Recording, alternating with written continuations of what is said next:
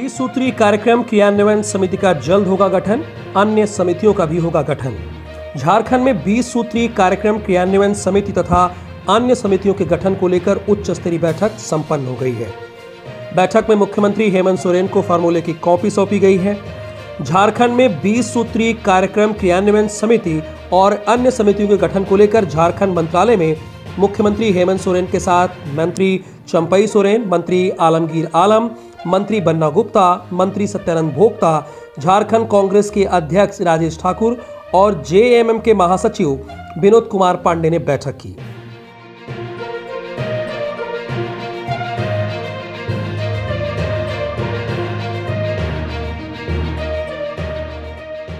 बैठक के पश्चात प्रेस से मंत्री सत्यानंद भोक्ता ने कहा कि जल्द ही राज्य में 20 सूत्री तथा अन्य समितियों का गठन होगा। राज्य के सर्वांगीण विकास में इन समितियों का महत्वपूर्ण योगदान होगा। झारखंड कांग्रेस के अध्यक्ष राजेश ठाकुर ने यह भी कहा कि सरकार की जन कल्याणकारी योजनाओं को धरातल तक भ्रष्टाचार मुक्त तरीके से क्रियान्वित करने हेतु राज्य में 20 सूत्री कार्यक्रम, क्रियान्वयन समिति तथा अन्य समितियों का गठन होना बहुत ज़रूरी है। उन्होंने ये भी कहा कि 20 सूत्रीय तथा अन्य समितियों के गठन का फार्मूला तय हो चुका है। बैठक में माननीय मुख्यमंत्री हेमंत सोरेन को फार्मूले की सूची सौंपी गई। हर पहलुओं पर पूर्व में तथा आज भी विचार विमर्श कर सहमति बनी है। उन्होंने ये भी कहा कि शीघ्र ही इन समितियों का गठन कर लिया जाएगा।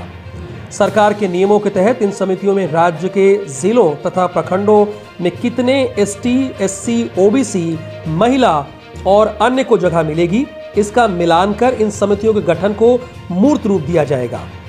जेएमएम के महासचिव विनोद कुमार पांडे ने यह कहा कि 20 सूत्री तथा अन्य समितियों का गठन होने से राज्य में विकास की गति को और भी रफ्तार मिलेगी। संगठन और जनहित के कार्य करने वाले लोगों को उचित हक, अधिकार और सम्मान भी मिल सकेगा।